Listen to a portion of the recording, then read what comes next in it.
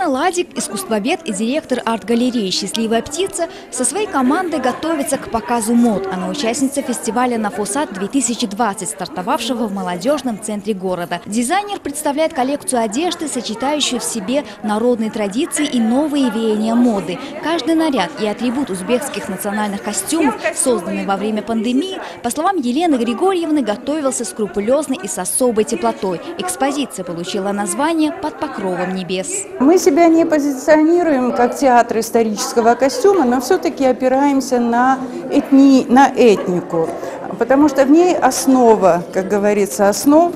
А вот, и если вы внимательно смотрите наши одежды, вы увидите, насколько трудоемкая эта технология. А мы применяли стежку машинную, ручную, вышивку бисером, вышивку шелковыми нитями, набойку. А особое внимание стоит обратить на головные уборы, потому что каждый костюм продуман от головного убора до обуви и украшений. Но это часть нашей коллекции. Я надеюсь, что у нас будет возможность показать ее полностью. К дефиле готовится еще один не менее известный в Самарканде модельер. Для Хамиды Инаятовой, дизайнера национальных и традиционных изделий, представлять свою уникальную коллекцию женской одежды – дело привычное. Работы мастерицы золотошвейного искусства несколько раз экспонировались за пределами страны. Она является обладательницей большой коллекции старинных материалов, которым более 100 лет. Как отмечают участницы фестиваля, фестиваля, являясь автором множества нарядов, дизайнер дает предпочтение ручной вышивке. У каждого дизайнера должен быть свой почерк. Я над этим долго работала и разработала свой текстиль, свой почерк. Вот. Э, и на каждых моих кардиганах и костюмах элементы ручной работы. Фестиваль узбекских нарядов, направленный на дальнейшее развитие культуры одежды в регионах, состоялся по инициативе Комиссии по гендерному равенству Узбекистана, Министерства Махали и поддержки семьи, Ассоциации Узтекстильпром и других.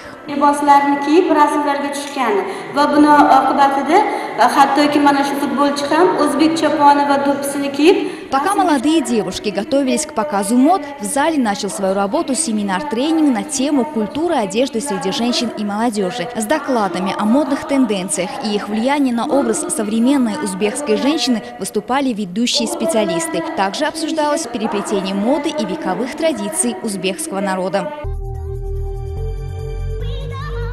Далее по программе в рамках фестиваля последовали показы мод молодых дизайнеров, выставка национальной и современной одежды. На модном дефиле под названием «История самаркандских национальных костюмов» представлялись работы представителей Центра ремесленников «Хунарман», Ассоциации деловых женщин «Тадберкор Айол» и арт-галереи «Счастливая птица».